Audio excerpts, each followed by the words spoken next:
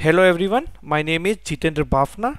In this video, we will going to see a live demonstration on how to create a virtual private network or Anypoint VPN and we will use a GCP as our private cloud. So basically how we can use how we can connect the services running in the GCP you know uh, using VPN so basically why we require the VPN so when you want to connect your application or services running on your on-premise data center from your CloudHub application in that case you go with VPN if any any application running in your private network or private cloud you need a VPN you know for application deployed to the CloudHub to access any backend services you know so in this tutorial, uh, in my previous video, I have already explained the concept, architecture, use cases, what are the different ways of creating the VPN we have already seen in last video. So please go through that. It is recommended you go through that video before watching this.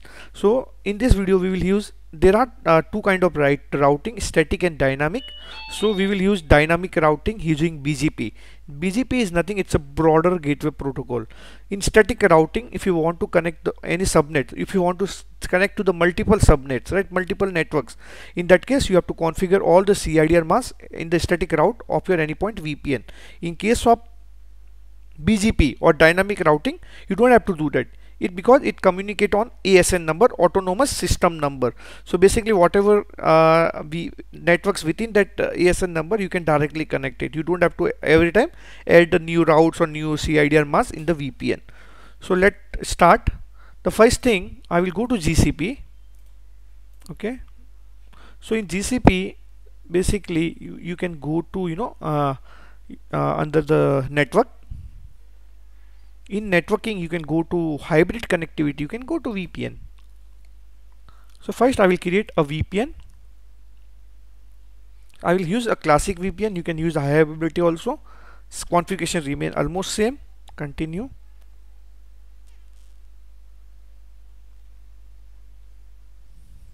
So now you can say as a uh, mule VPN demo.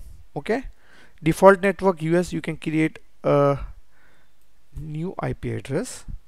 I can say mule VPN IP I can say reserve.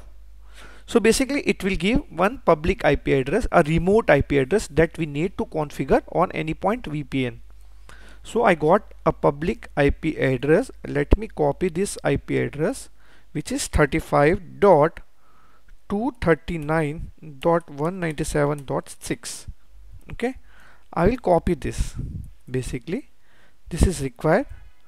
Now I can go to my Anypoint platform. Here we have a runtime manager VPN you can create VPN so I can again say I can give some name mule demo VPN you can select the VPC we have already seen how to create a VPC this is the remote IP address so where you want to connect.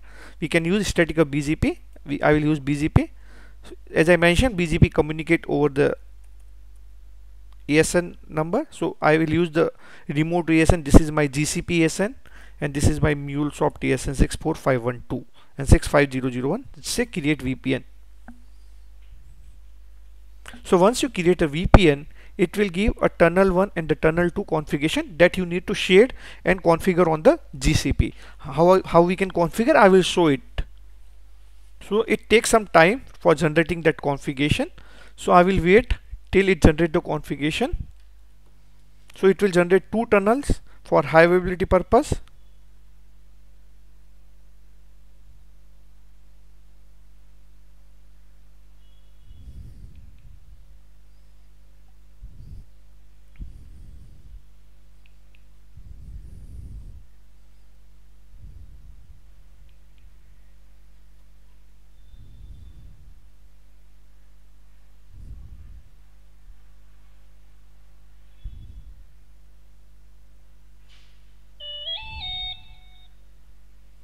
let keep refreshing the page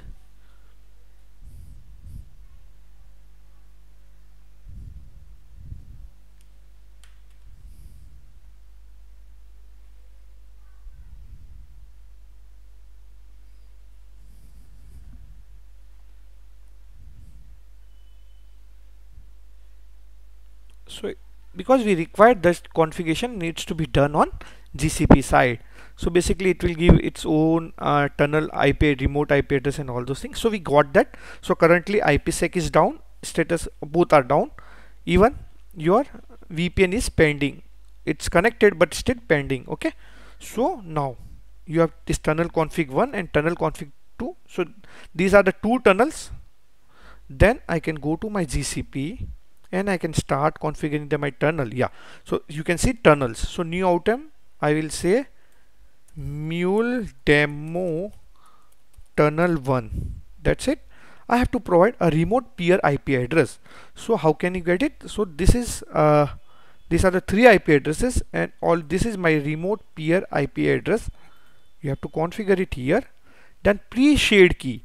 That is the authentication key. So okay we required some authentication. It use pre-shared key which is known as a pre-sk I can use control V. Make sure that you have copied the correct key.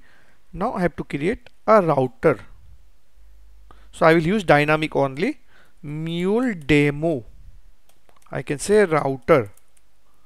Network US whatever. Here you have to provide a Google ASN 65001 make sure we have configured 65001 remote ASN that is the Google ASN make sure it's same. Create. Okay. Now we have to create a BGP session. So I can say mule BGP mule demo BGP1 we okay. Peer ASN that is the remote ASN which is the MuleSoft ASN 64512 now you have to provide cloud router BGP IP so you can go hit remote point to point IP address copy this IP address go there and paste it. Okay? Make sure no spaces here. Then this local point to point IP address copy go to BGP and provide it here.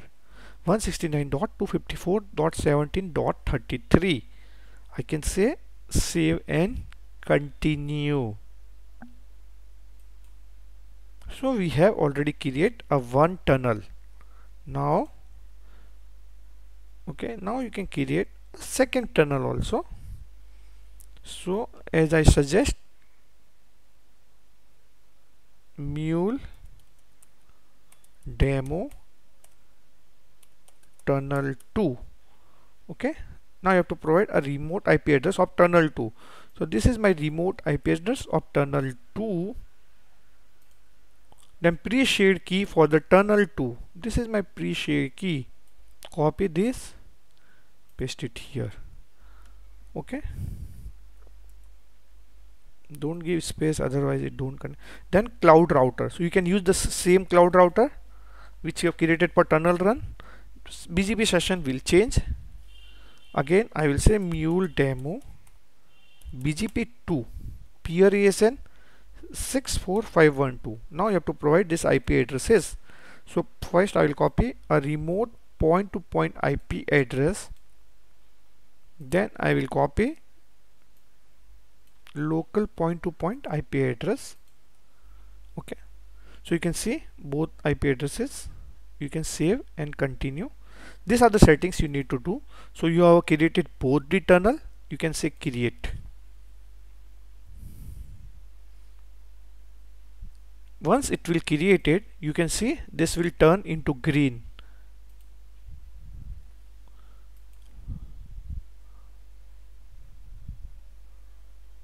Guys let's wait while it's creating a tunnel 1 and tunnel 2 for us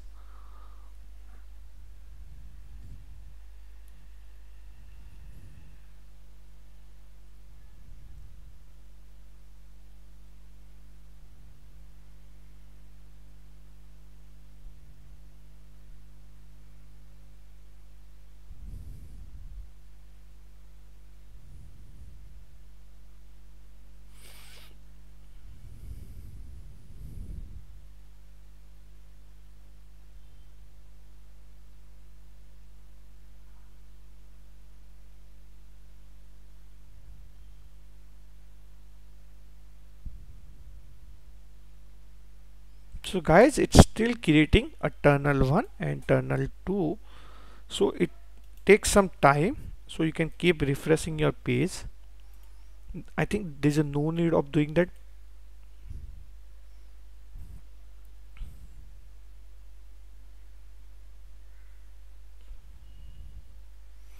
so guys like I have published around seven videos on VPC VPN and dedicated load balancer with all the concept architecture and all with live demonstration.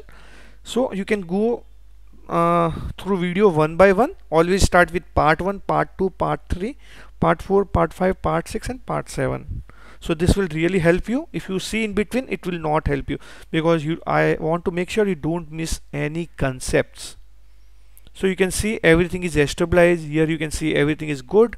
What happens here?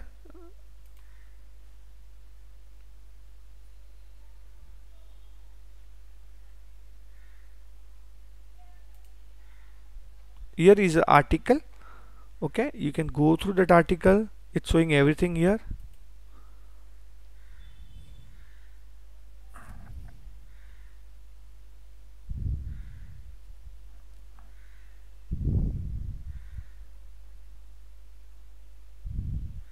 so you can see your tunnel 2 is up. So one tunnel is up. That's fine. Like you know your status is available and you are able to connect the tunnel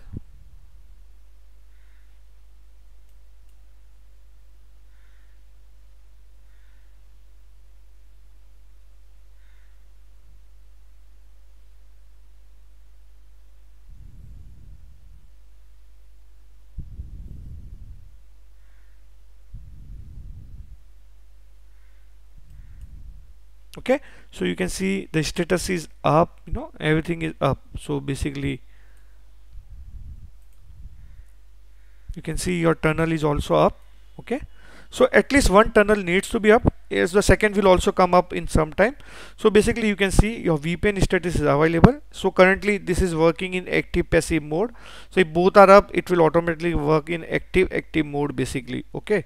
So so for communication you have to make sure at least one tunnel is up either tunnel 1 or tunnel 2 with your private cloud uh, or on-premise uh, cloud or on-premise data center. Always make sure at least one tunnel is up okay? See so basically no, so both tunnel is good looks good. And sometime uh, this here you, it's everything is correct so sometimes you have to make sure you know uh, basically if it's not able to connect or anything is going down or anything is not working fine you know. In that case you have to check your configuration to make sure everything is up and running. The tunnel is up and running.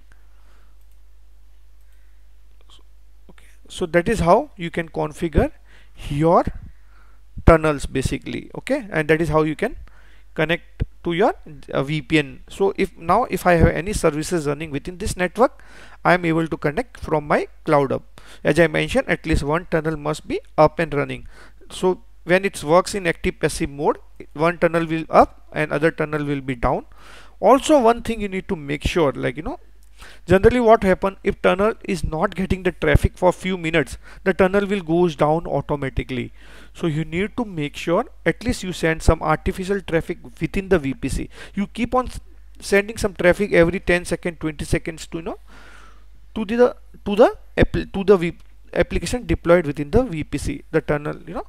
So that is how you can uh, like create a VPN